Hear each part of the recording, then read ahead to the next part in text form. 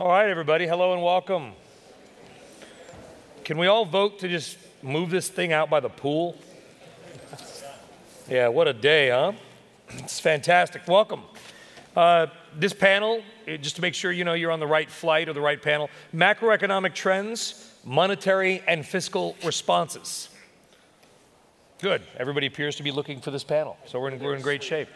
We got a great lineup. It's an important topic. We're going to hit a lot of it, and uh, let's get right to it now. And I'm going to introduce our, our, our panelists here. We got a great list coming from the far right. We got Seth Carpenter, acting assistant secretary for financial markets, the Department of Treasury. We got Dimitri Demekas, assistant director of monetary and capital markets department for the IMF. Scott Minerd, chairman of investments, global chief investment officer of Guggenheim Partners. Tad Rivelle, Group Managing Director and Chief Investment Officer of Fixed Income at TCW, and Paul Sheard, Chief Global Economist and Head of Global Economics and Research, Standard & Poor's Rating Services. I am Brian Sullivan. And as with many panels, I like to begin this one with a test. It's easy, and there's, I mean, there's a wrong answer. I'll see if anybody can get this. Who said this? Is everybody listening? Seth, you all right down there? I'm listening. All right. The United States economy is like a poker game where the chips have become concentrated in fewer and fewer hands and where the other fellows can stay in the game only by borrowing. When their credit runs out, the game will stop. Who said that? Mariner Eccles, Federal Reserve Chairman from 1934 to 1948. He said that in 1951 in a book. And if I told you that was from 60 years ago, you would have said that's from the last five years, right? And so I guess, Scott, I'll start with you because you are concerned about how things will play out. I brought up this quote because I wonder have we always been concerned? Is this time really different? You know, it's interesting, Brian. It's, it, it's uh, like the old line that uh, Mark Twain said history doesn't repeat it, repeat it, it just rhymes. And so, um, you know, a, a, lot of the things that we're living through today look like what happened in the late 30s and the 1940s. And that is that um, there was a financial crisis, there was massive regulation put on the system. Uh, and the, uh, the ultimate result was that the Federal Reserve grew its balance sheet uh, to somewhere in the neighborhood of uh, 30 to 40 percent of GDP which is exactly where we are today. So I guess maybe history does repeat itself. You know, and I, I, I brought that up, Seth, because it, there does appear to be, I, I don't want to call it recency bias, but the reality is that the majority of people running capital and running money at the time when Mariner Eccles was the Fed chairman are probably not many now. And so we often forget about history and we forget about, about the fact that maybe we haven't been here, but concern over debt and borrowing and credit and the Fed and the Treasury and the government has always been out there. Do you feel like trust is often misplaced? Do I feel like the trust in you? In uh, and by the way, and I, I say this: Seth and Dimitri are here primarily in a personal capacity. I have to say that as representatives of you know who they are. So, so I, I, I, hope uh, very sincerely that the trust is not misplaced. Um, I think the perspective with your quiz and, and the perspective that Scott brought up is, is, is extraordinarily helpful. Um, it's very, very easy to forget history. We look when, so I'm overseeing financial markets now for the Treasury, and one aspect of financial markets right now is an increase in volatility, and a lot of people are ascribing any number of causes to that increase in volatility. And I think one, one issue that history would teach us is to look over business cycles and as we come out of an economic, as we come through an economic expansion and we're looking at some normalization of policy, often volatility starts to increase because there's less, less certainty about rates. And so that kind of longer run, uh, historically based uh, perspective, I think, can really help sort of cut through some of the, the, the, the questions that we have today. I, I guess so, Dimitri, one thing that is very new, at least in, in my, because I don't study the yield curves of Bunds, and I've said Bund more times at this conference than I have in the last 10 years combined, by the way. Uh, there's about 5 trillion in negative real interest rates right now around the world. The IMF, you look out and you think, this is, this is truly a remarkable time, is it not? It is. It is, but I think um, if there is one difference between the last big financial crisis you mentioned and this one is I think that this time the Fed got it right much sooner than last time. Now, you could look at the negative interest rates. About half of that is in Europe and say, my God, this is unprecedented. How will that end? But I think that's actually working reasonably well. Uh, there are risks, and the biggest risks, I think, for financial stability is as this tide of liquidity created by central banks starts to recede. And I think what we will see is a substantially different structure of the financial markets underneath. Different investors, a lot of retail investors, a lot more automation, high frequency trading, uh, less market making by traditional market makers. But in my mind, with a little bit of luck, all this will mean is that there will be some bouts of volatility, there will be some instability at the margins, but at the end, things should work out well. The Fed should be able to manage this process. You know, I guess we are in Hollywood, so maybe they should remake less than zero, but this time it's about interest rates. Yes. James Spader as Ben Bernanke, perhaps. Um, you know, Dimitri said, uh, Tad, that the Fed got it right. Have they got it right, or just have we not figured it out yet? Have we not gotten to any sort of end point yet? Could they still get it wrong?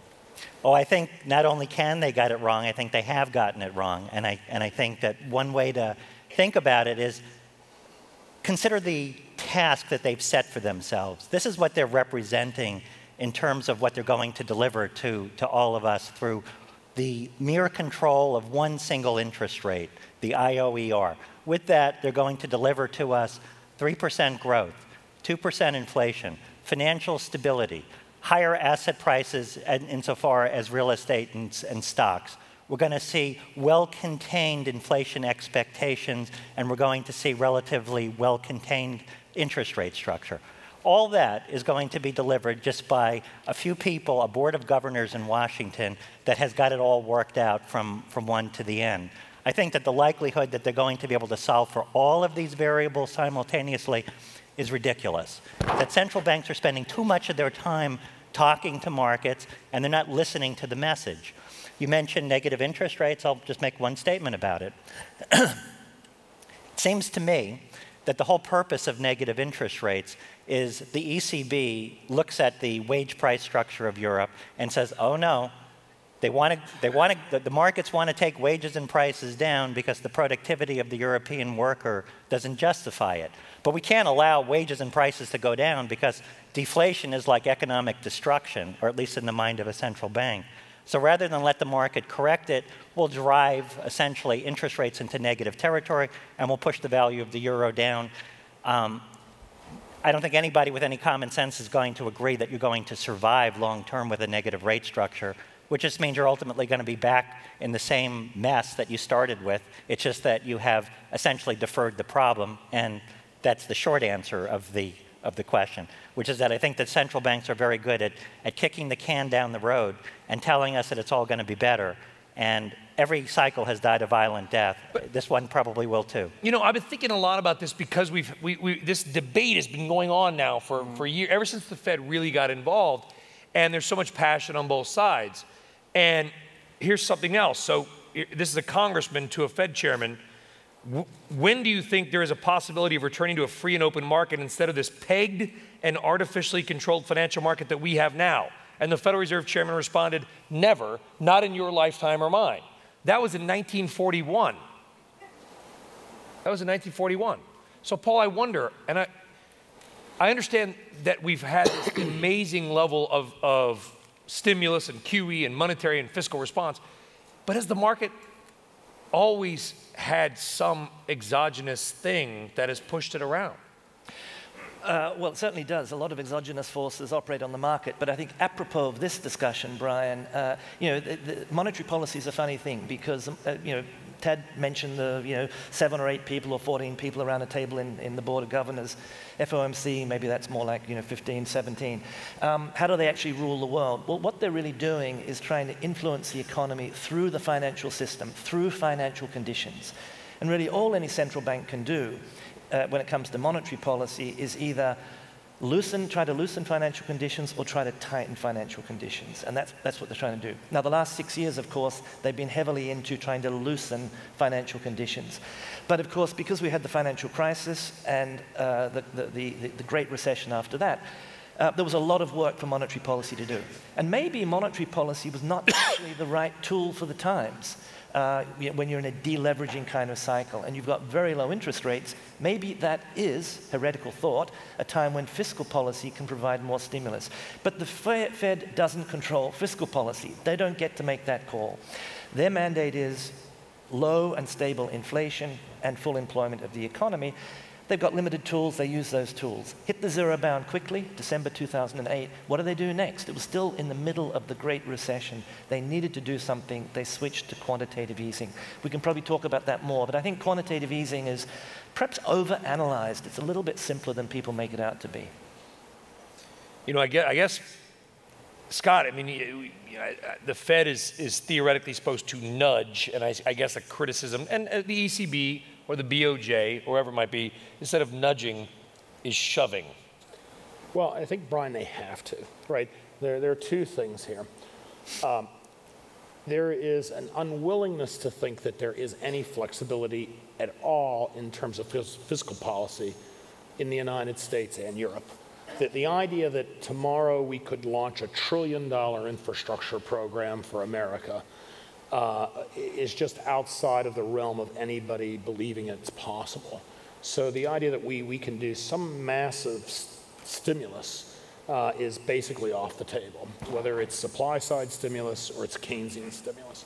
Well, because rates are at zero. I mean, I think well, that's, I think it's that, that's the reason. Well, I think that, but if you look at it this way, if tomorrow the government were to create a federal agency that allowed off balance sheet borrowing of a trillion dollars to build infrastructure in the United States, you, you, could, you could do a lot to get people to work and at the same time, uh, really, it's not going to matter given the size of how much debt. Would you consider that a monetary policy response? Well, no, I'm, that's what I'm saying. I think the monetary policy response is the, the, the fiscal side of the house is not going to do anything. And not only is the physical side of the house not going to do anything, and with all due respect to the man who is acting as the Assistant Secretary of the Treasury uh, for our, our, our uh, president, uh, you know, uh, regulation in Washington uh, has basically uh, become so onerous upon the financial system that, it, that it's essentially clogged up the plumbing. And so the only way to, um, to try to get the economy to move is to overwhelm all of this with massive, massive doses of, of uh, liquidity uh, which you know, has led to large distortions in the pricing of capital. Uh, and I believe is leading to inefficiency in investment, which is going to lead to longer term problems. And someday, uh, someday, uh, as Dimitri was commenting, you know, we, we've decided this is the way, this is the only way we have to address the party, but someday we're going to say, oh, you know what, we don't need this liquidity anymore, or we need to try to reverse. But I, I guess setting ourselves up. Dimitri, speak to that because I guess the point I was trying to make with these historical quotes was that, and I hear your point about the distortion of capital. I wonder though, two world wars in hundred years, depression, the Great Recession, uh, you know, coming off the gold standard, whatever. Has there always been, and you do a lot of historical work, some sort of distortion in the price of capital? When has there ever been a pure time where we could price capital to a true market? Without a distortion. Indeed not. And in fact, if you go back before the Second World War or immediately after, there were a lot more distortions in the world financial system and in the world trading system. We have made a lot of progress in removing these distortions, and we have made a lot of progress collectively in opening up and liberalizing financial markets, both inside countries and across borders. But I wanted to go back to a point that you made about um, the, the, the burden of regulation. There is no doubt that since the financial crisis, we have seen a very ambitious and extremely broad-based financial regulation reform in the US and worldwide. And I think we need to remember why that was. That was because we discovered that the system had taken an extent of risk that it could not manage, and that even the regulators with the existing tools back in 2007 could not manage. So it's important to remember why we started this agenda and, and how broad-based this agenda has been. And I would argue that this has been a very positive, there have been very positive steps in that direction with strengthening the capital framework for banks and both changing the definition and increasing the required level of capital, introducing a new liquidity framework through the Basel Agreement, having rules on securitization, rules on over-the-counter um, derivatives, and putting on the agenda, at least putting on the table, the structural reform measures, the Vickers, Volcker, Liikanen agenda. This is an important agenda and arguably necessary given what happened. And I think my concern on that reform is not so much that it has clogged the system, but that the political window that existed after the crisis is now shutting rapidly, and we need to make effort to complete that agenda. Can I just jump in on that? I mean, I, I personally appreciate Dimitri's point uh, there about the regulation and what it's aiming at and what it needs to address. uh, the opening quotation about, you know, looking in, in the discussion about looking back over history, I think the main thing we really need to keep in mind when we're discussing regulation and what it has done is that it's made the financial system, it's made large financial institutions safer, it's reduced leverage, it's increased capital in the banking system. Um, we can't ever be complacent, but I don't. I think we want to make sure we don't uh, countenance going back to uh, a financial system that we had in 2007 that led to the Great Recession, that led to the financial crisis, because we all know how long it took to, to recover from that. and can I also add something, Brian? Sure. On this, you know, when um, the capital rules, the new, the Basel III agreement started being debated, there was a lot of study about what the impact would be on bank profitability, the financial intermediation more broadly, and ultimately growth. And there have been reports ranging from the um, IIF on one end that predicted, just to caricature a bit, that the sky will fall on our head, growth will stop, and all sorts of bad things will happen, to um, a group put together by regulators with the participation of the IMF called the Macroeconomic Assessment Group that predicted that full phased-in Basel III rules would reduce global growth by a few tenths of a percentage point over the long term. A few months ago, Steve Cecchetti, the former chief economist of the BIS, issued a paper, and he argued that, in fact, the chips are in, the jury is in, and the optimists have been anything too optimistic on the impact of the growth. In other words, that this huge capital uh, change in capital rules have not only not affected visibly growth, but it has actually strengthened the system. So the benefits are there in terms of reduced risk, reduced risk of instability, and the cost turns out to be less than what we thought it was. That is why I, wanted to, to make that point. But, but Dimitri, don't you think that, that the, the reaction we have in terms of the development of regulation is really just to some degree, a political response for the failure of the regulators to do what they were already mandated to do before the crisis. There are a lot of powers that are in the hands of the Fed, for instance, to re regulate lending, to regulate mortgage quality, lending quality. Those standards were not applied.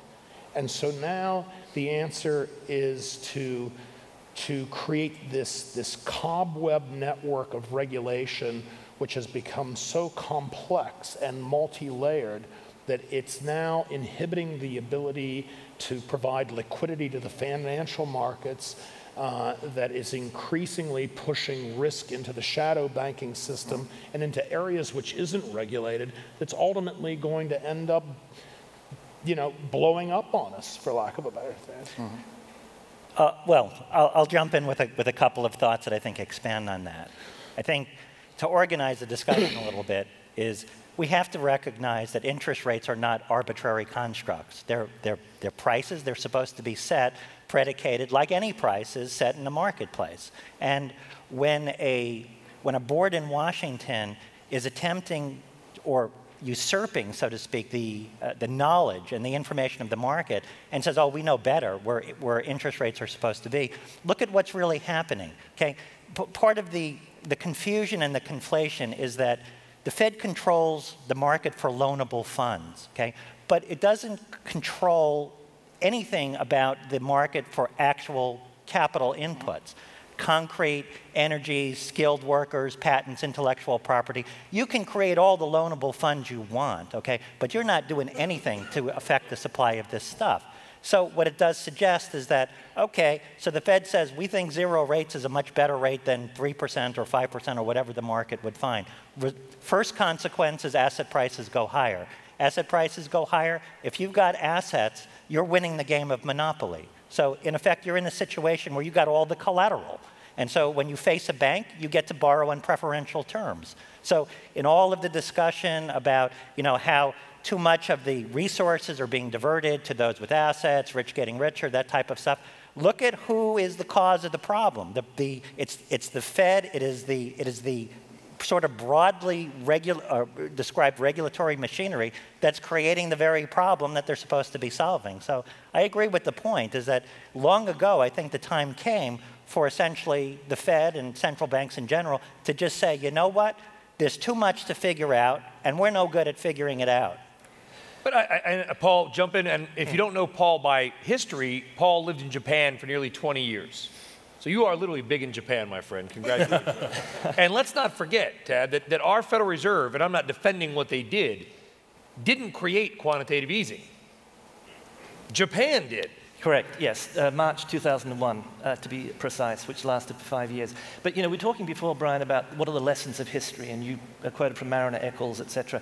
Of course, one of the big lessons from history that I think the Fed, uh, Bernanke Fed, uh, really brought into this financial crisis, and also people like Tim Geithner, I met Tim Geithner for the first time in Tokyo when he was Assistant Secretary, uh, attache to the, the, the uh, Tokyo uh, US Embassy. So he cut his teeth early on in his career, even before the Asia crisis in Tokyo, looking at the Japanese crisis.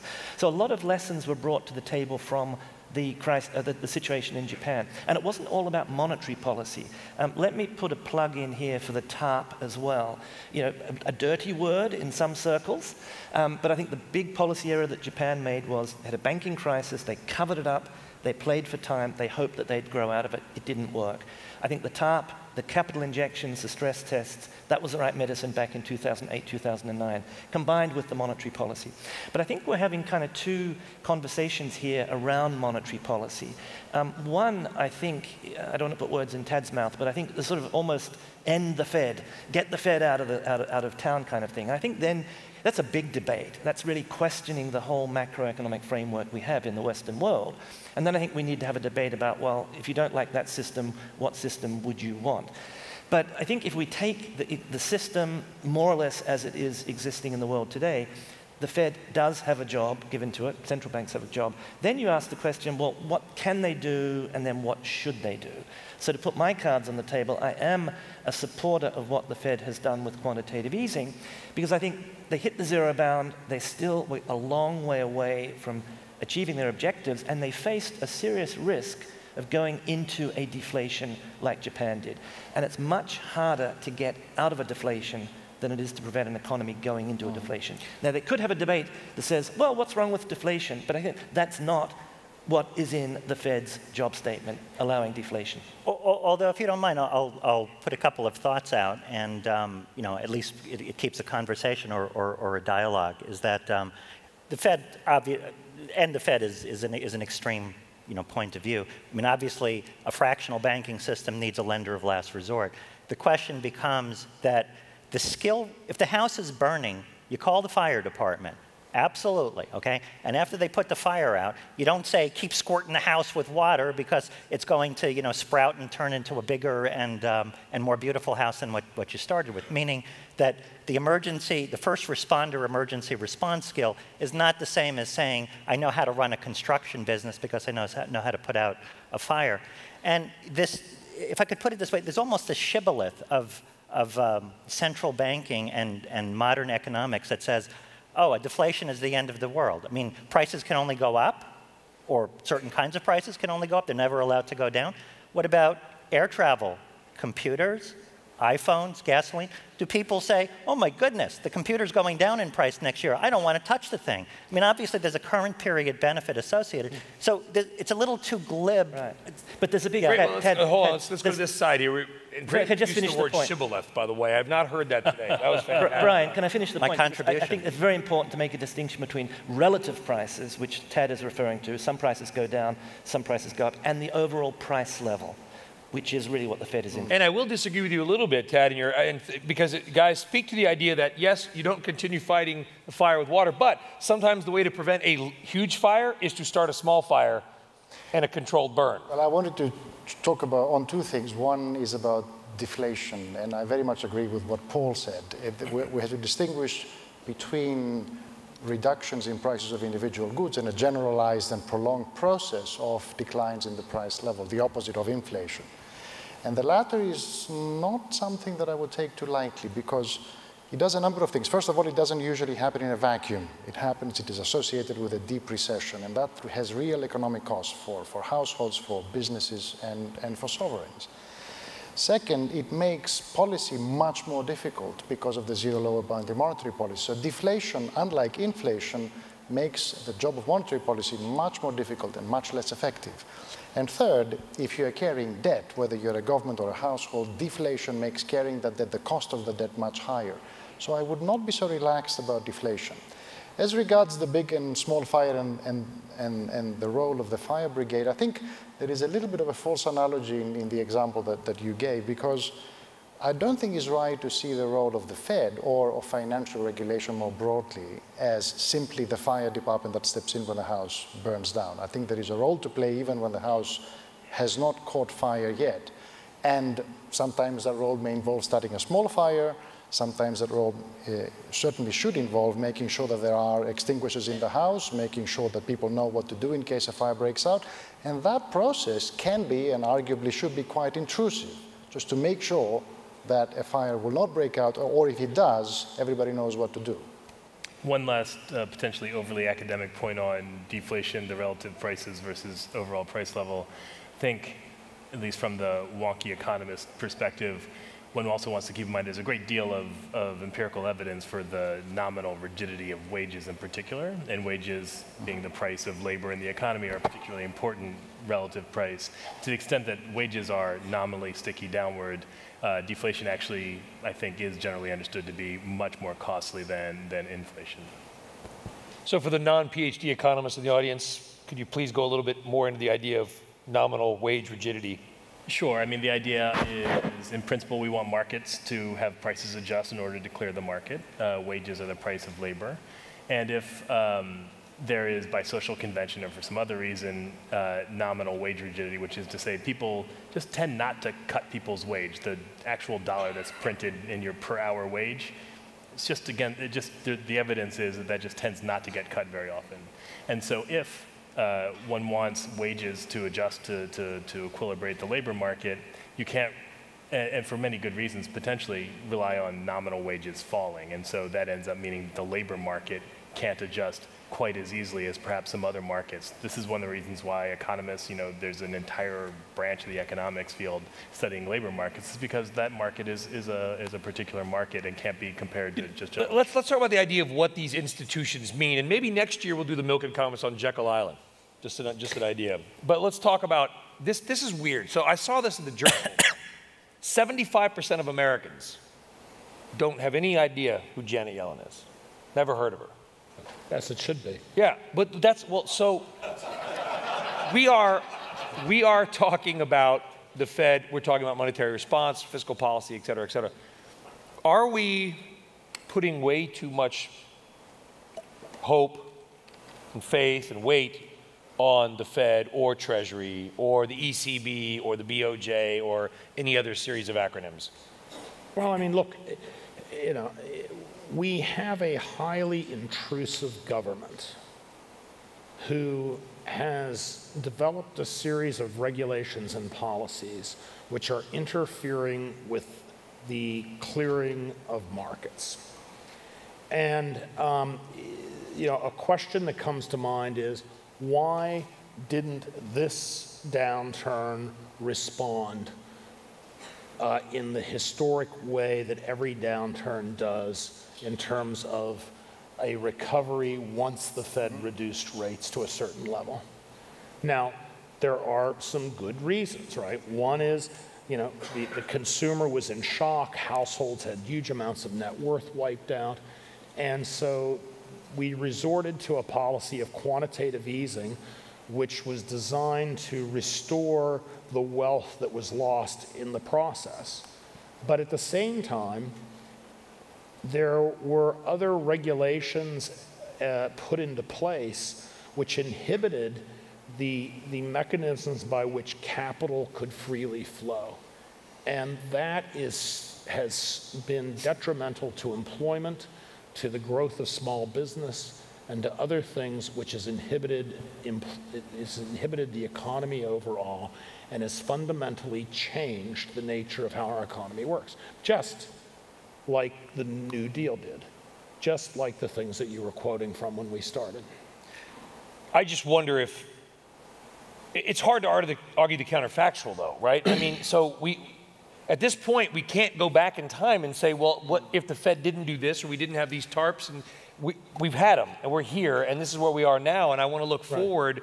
It, I think we're sort of interesting in a sense that the ECB is starting, so we've got to now we can sort of you know look, point, and laugh. Aha! You know, you got five years of political. maybe I'll just move the show over there for the next five years. Well, take take that example though. You asked the question about can we, can we, should we be reliant on the central banks to fix fundamental or significant economic problems. Let's take a look at Europe for a moment, okay? Maybe others will have different views here. 19 countries, one currency, one monetary system. 5%, 6% unemployment in Austria and Germany, 25% in Spain and Greece. Is that because there isn't enough credit in Europe? Is it because we're not doing enough helicopter drops of money? I'll give you my explanation. Maybe I'm wrong. But the simple Occam's razor solution is, is that German industry, Austrian industry is globally competitive. It sees its fair share, so to speak, of global aggregate demand. You increase aggregate demand, it gets sourced to wherever it is competitive. Is that uncompetitive businesses will never participate in the global economy because nobody in his right mind is going to buy a product that they don't want at the price that they don't want to pay. And if you think a central bank is going to solve that, I would say, I don't think so. And so what I think it's supposed to lead you back to is gets back to the question is, what is the proper role of a central bank? How about this? How about allowing the, the actual process of economic growth, which is really a result of business owners, labor, entrepreneurs figuring out a better way to do their job each and every day over a long period of time. And you make it 1% better each year and you grow. Let people figure it out instead of telling them that, oh, well, you know, deflation means we have an excess of capacity over demand, and so clearly we have to up the demand somehow and we use artificial means to do it. Maybe what the market is telling you is that, yeah, you got an excess of capacity over demand. Let the market fix it by lowering the price of that capacity, and it might get fully utilized. Um, uh, you, you, mentioned, Brian, the counterfactual. We can't see the counterfactual, but we can see the data. And what the data tells us is that in the Great Recession, real GDP in the US fell, I think the number's 4.2%. By mid 2009, it was recovering. Unemployment by the end of 2009 went up to 10% because of a lag. Uh, in the Eurozone, GDP fell about 6%. In Japan, it fell about 9%. And those economies are barely back to their pre crisis level. The level of real GDP in the US is about 9% above the pre crisis level. And it's because of that cumulative increase in output that unemployment has come down from 10% to 5.5%. So, yes, the headwinds in this recovery have been very stiff because of everything we know about deleveraging, et cetera. But you know, it, it, it has been a half decent recovery on your question of you know, too much emphasis on central banks, yes, let's face it, we're in the financial markets. Um, everybody has a kind of obsession with the Fed. It's sort of the nature of the beast. Um, we do need, I think, to de-emphasize a little. I'll, and I'll, listen, and, and, and uh, Seth, I'll defend the government a little bit in a sense that you guys are in a tough spot because we don't. What if this? What if this is true? We look at Japan, Europe, and the United States. What do they all have in common? Crap demographics. All right, well, not the United States. No, no, no, no, no. We're no, we're starting to roll now. We've got more 25-year-olds working, yeah, well, but we have but, negative birth rates in many places in no, Europe. but pop, aging population. No, I agree, but you got to remember that in our country, until 2040, demographics of the working age population will continue to rise largely because of our good immigration program. Yeah, we're starting to roll over uh, in a good way, is what I mean. Right. In a good way. Yeah. I'm, I'm, looking back. I'm looking back yeah. a little ways, and Europe is terrible. I mean, I think Italy's got a negative birth rate, uh, and a lot of elderly. Japan, good grief, we don't need to talk about that. And China's coming down the road, my friend. If you looked at the China demographic profile, so the reason I'm saying I wonder if the government gets a raw deal is, are we looking at the Fed or Treasury to fix a problem that maybe and not taking aside a little bit of the, the, the Great Recession and the, and the mortgage market crisis, that we've got people retiring, we've got high productivity, maybe the labor force participation rate won't go, won't, won't go up because the jobs aren't needed anymore because one guy is now doing the job of 10. Is there, is there anything out there that suggests that maybe it's, it's not just a fiscal situation? So I think I absolutely agree with the general thesis that it's extraordinarily You agree that I defended the government. and Perfect. uh, it's an absolutely complicated situation. And thinking about, let me just take one point though that you said about labor force participation. Maybe it continues to fall because productivity is high. I- I think that's sort of uh, not necessarily the best way of thinking about longer run economic growth. So, for example, productivity from, say, right before the Great Recession back to the beginning of the 20th century, long period of growth, you look at productivity, it went up. Uh, I will get the number wrong, but it's something like by a factor of 10. And what did not happen was that we didn't just see a bunch of workers lay idle because they wanted to keep the same level of aggregate income, but with one tenth the amount of labor. In fact, you see the labor uh, market continuing to grow, and its overall output that continues to grow. And that is one of the most important reasons why productivity is clearly critical to long run growth in the economy. Um, so I think your general point, though, is absolutely right. It's critical. I think um, uh, the demographic aspect is one that you can't ignore. Uh, Scott mentioned the role of immigration. The administration has had a proposal to reform immigration policy. The Congressional Budget Office did a, an assessment of one of the proposals that went through and points to meaningful um, effects in terms of labor force uh, uh, participation and to increases in GDP uh, over the long run. I think for all the reasons that, that Scott was laying out. You know, and Dimitri, you know, I, I've been to Greece, and it's it's a country where the unemployment rate among 25-year-olds is something like 40%. There's no jobs for them, and there's and there's a lot of retirees, and I don't. When you look at, say, and I'm not picking on Greece, um, but if you look at Italy, you look at Greece, and I'm thinking, what the world is Mario Draghi going to be able to do about the fact that there's more 75-year-olds and, and, and 40% of the 25 year olds aren't working and no new job creation. No, exactly right. And I think What, uh, what is the ECB supposed to do about that? Exactly. No, and I think um, that's the, the point that uh, Tad made earlier about the limits of monetary policy is absolutely spot on, particularly when it comes to the Eurozone. When I look at the Eurozone, what I see is, first of all, an economy where growth, although it's restarting this year, is still extremely slow, very disappointing. A place that has, uh, where households and businesses, in some countries more than others, still labor under a huge burden of debt. It's very, very difficult to dig yourself out of this. And where, more, most importantly perhaps, the whole economic policy framework, the whole economic governance framework is, to put it charitably, incomplete. So these problems go well beyond Mario Draghi's capacity, or the ECB's capacity to manage. And these are the really important and deep long-term challenges for Europe. Uh, and I haven't even mentioned Grexit. You know, the, the good folks at the Milken Institute, they've got a lot of hardworking people that don't get any credit at all, by the way, to set these panels up. And our panel brought no slides, but the, the Milken folks made some slides, so we should probably show one because they put some time into them. Slide seven.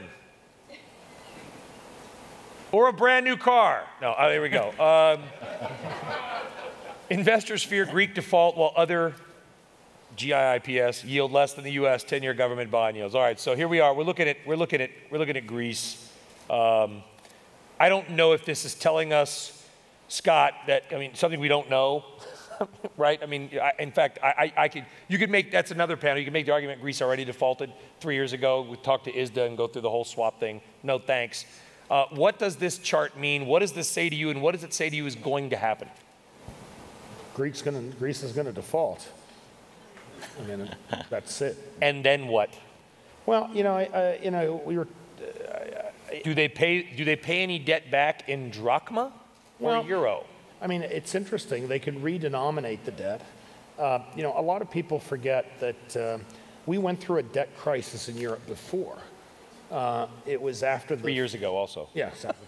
um, it, it, after the First World War. And uh, the reparation payments that were imposed on the defeated nations, uh, for instance, Germany, finally paid back its last reparation payment to the United States in something like 2012. So, you know, From World War One. from World War I. So the idea that it should take a century to clean up a financial mess uh, is not an unusual concept.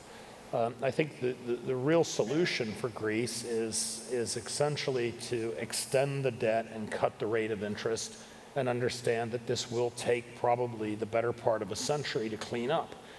Uh, however, I think right now, given what's going on in Europe, there's a political impasse. Um, that, uh, uh, that there's a feeling in the core, perhaps right, that uh, if, they, if they just go ahead and amend the debt, extend it, and, and cut the rate dramatically, um, that that would uh, uh, basically be just another opportunity for Greece to to borrow some more money and get itself into a worse. Yeah, you know, Tad, this is an interesting, it's a really important point that you're bringing up too. And you talked about the can and the road.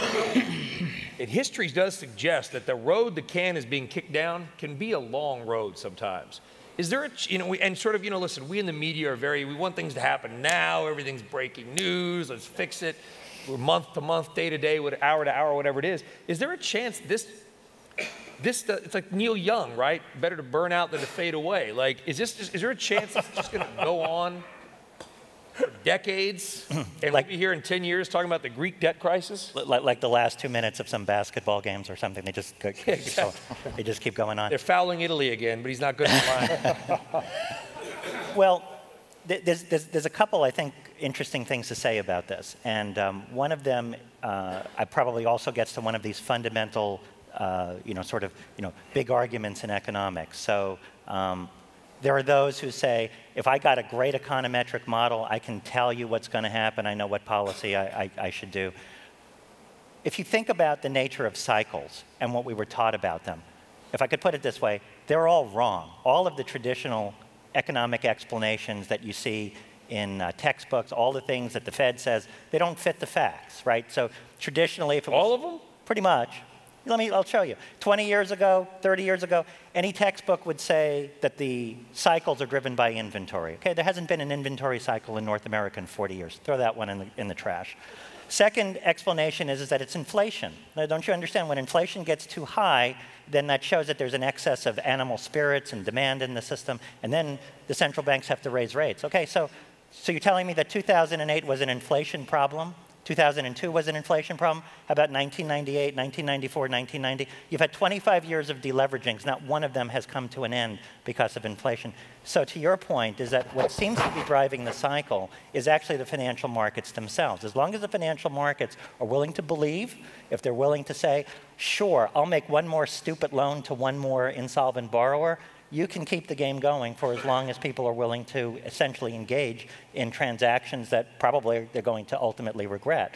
But you can keep the game going for a substantially for a substantial period of time until the financial markets say no mas, the game is over, and then traditionally we have these deleveragings every you know five, six, eight years. Can I can I just come in on Greece, uh, Brian? Yeah, you got, got another shot up, right? I mean, this uh, you know, uh, Dimitri just alluded to this, but the fundamental problem, in, in my view, in the Eurozone is that you have a flawed or dysfunctional economic architecture. You have a system where these 19 countries have pooled their monetary sovereignty.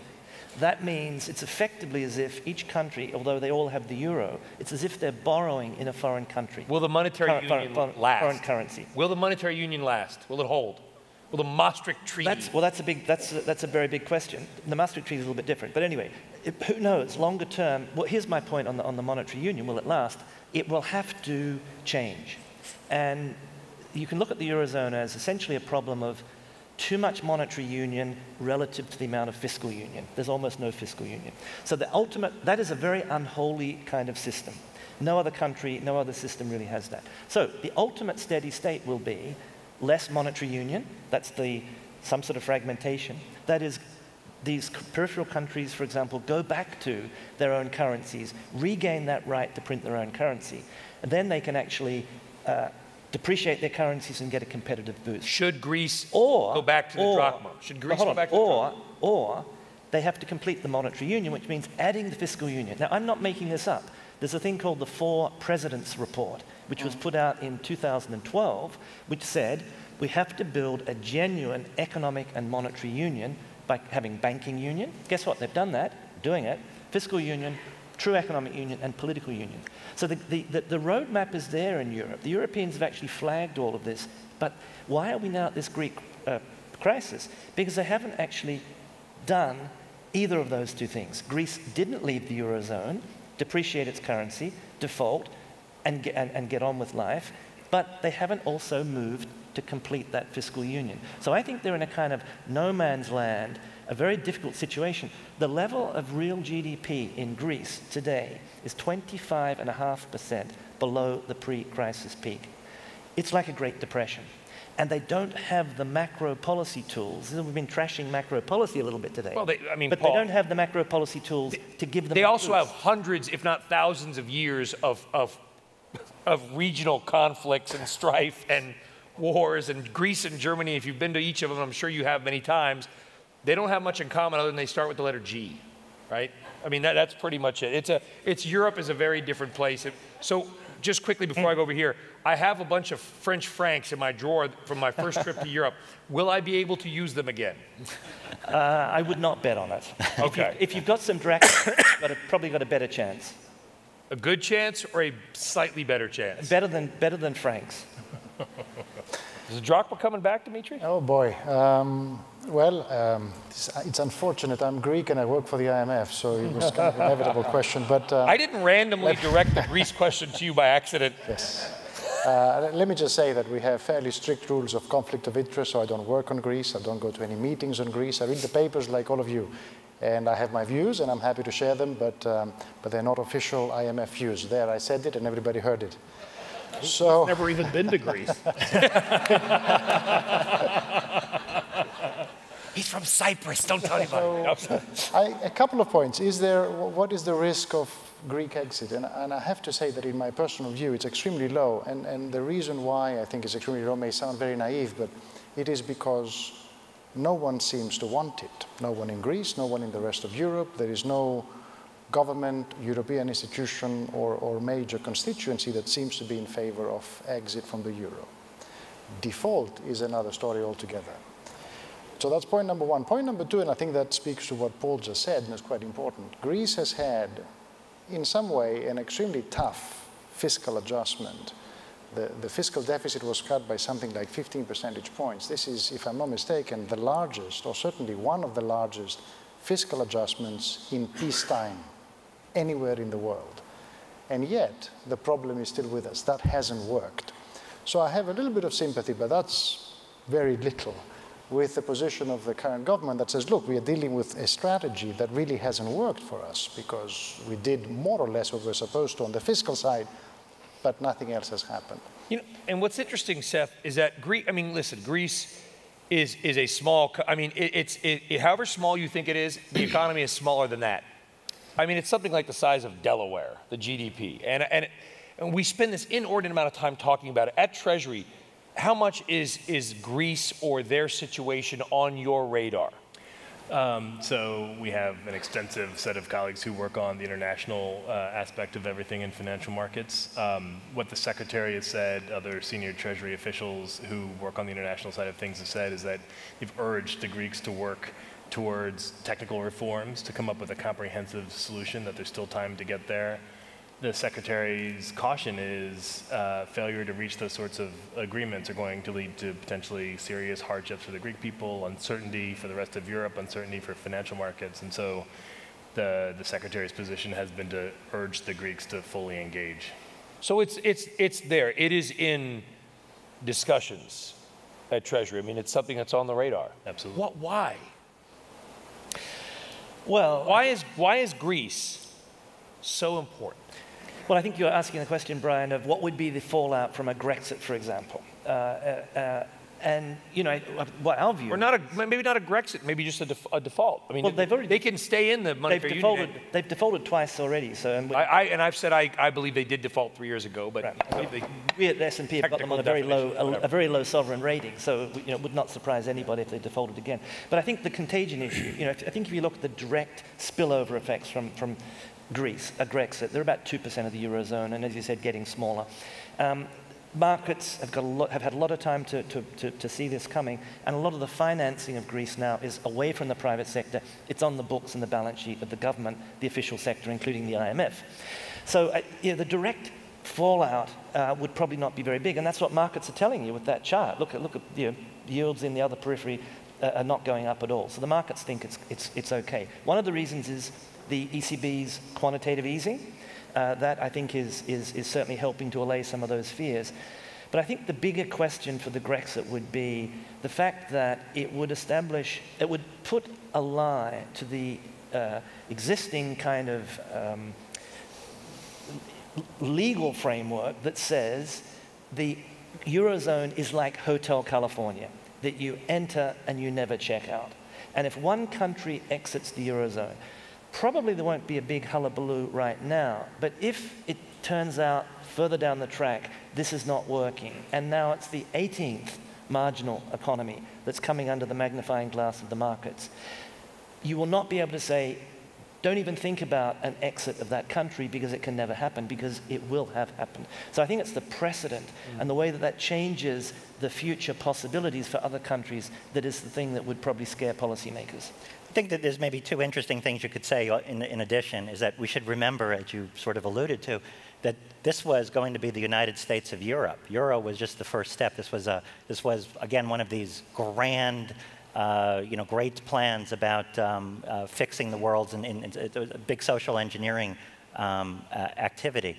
Now, I have been told that for the first hundred years of the history of the United States of America, that the U was actually lowercase, meaning that it was written as in, you know, wasn't thought of as a single entity. The states were thought of as separate countries, meaning it took a century to evolve from a collection of states into a modern federal republic. To think that you're going to jam it down the throats of 300 million Europeans just because a bunch of bureaucrats in, um, where are they, Brussels, uh, say so, I think is, I, I think that that's fantastical. You know, and you could check out anytime you like, but you could never leave. Okay. Scott, you, Paul's point, if Greece, are we only focused on Greece because if it defaults, then Italy and Spain and everybody else is going to raise their hand and go, yo, we want the same deal? Well, well that's going to be, look, the, the, the question's going to be at a popular level. If Greece gets out of this mess by just walking away from its debts and it's not a catastrophic consequence to them, meaning, you know. And nothing ever seems to be as catastrophic as we think it's going to be. Have you noticed that? Well, certainly when you live in Greece, you know. You can enjoy the sun, go down. it's just not that bad. But you know, the, the, the, thing is that there's going to be a po- the risk is a popular backlash. Um, but any crisis uh, is an opportunity, I think, to strengthen the the fiscal union of Europe. Uh, you know, I agree very much with what Tad said. Um, people forget how diverse our country was in, I think it was 1787, uh, by one vote, the decision was made to speak English and not German.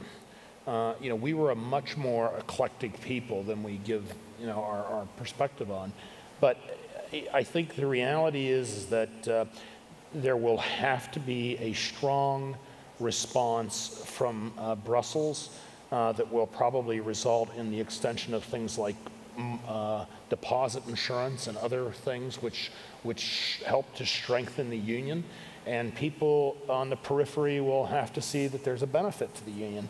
And, and one of the things that I would say, in fairness to the Greeks, um, is that, uh, you know, all the, look at this chart, Brian, right? Put that chart up again if, if people can't see it. But look at the benefits that all of Europe got from what Mario Draghi did in terms of being able to reprice their debt, except for one country. And there is an opportunity, in, well, to, in fairness, to say, you know what, since Greece didn't get the opportunity to participate in the benefits of QE, we should, we should reprice their debt. And, and maybe some Germans, Dimitri, should be saying Efaristo, because it's bringing the euro down in a good way for their export competitiveness. Europe has received some benefit from what's happened, right? It's not all complaints. Well, it has certainly received benefits from what happened, and I think the point is important that all countries were able to participate in this as much as they could. Now, nobody is responsible for Greece's predicament but the Greeks themselves. But in answer to your question, Brian, why is everybody worried so much about Greece? Nobody is responsible for the impact that Greece has or could have on the EU except the EU itself, because as you said, Greece is very, very small. We're going to wrap it up here. Well, one, th- one thing that Brian I want to say, right, is that, that sorry. It's your panel. But, well, you know, thank you for having. You, know, you are the underwriter. Thank you for coming on here. You're also the underwriter of the conference. the, um, uh, just quickly, the point I was going to make is, you know, this idea that there are a bunch of older retired people living on this peninsula down in, in Europe, and that maybe we have to have transfer payments and, and other subsidies from the center of Europe going down to this peninsula, peninsula looks, you know, peculiarly familiar to me. There's this peninsula in America called Florida where we send large federal transfer payments to retired people that live down there, and, and they do quite well. And so I think that the idea of, of the way the Europeans look at the problem uh, could have a huge impact on how to get it solved. Well, we're going to wrap it there, but you just established next year's premier panel olive oil or oranges. Which would you buy? That'll be the premier panel next year, and I hope everybody wants to come back. Uh, let's give a hand to Seth, Dimitri, Scott, Tad, and Paul. Thank you all.